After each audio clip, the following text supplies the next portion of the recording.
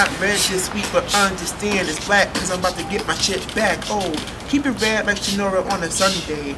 Keep it green in her jacket and she's okay.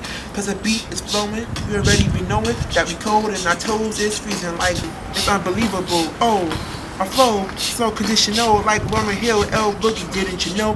Didn't you know? Didn't you know? Oh, check it. The beat is fire. I can't stand it.